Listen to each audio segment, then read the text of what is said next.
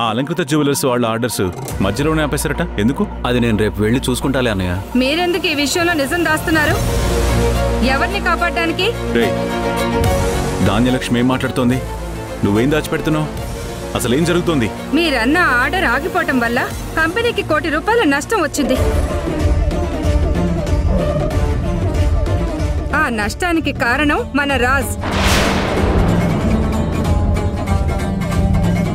Company విషయాలు పట్టించుకోకపోవడం వల్ల ఇదంతా.